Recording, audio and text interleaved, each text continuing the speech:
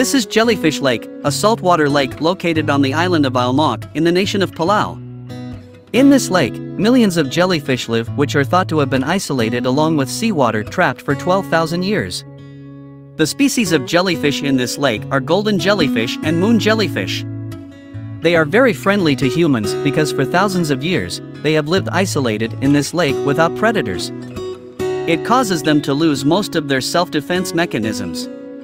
The jellyfish tentacles in this lake can still produce stings, but very weak, it cannot even be felt by the sensory nerves on human skin.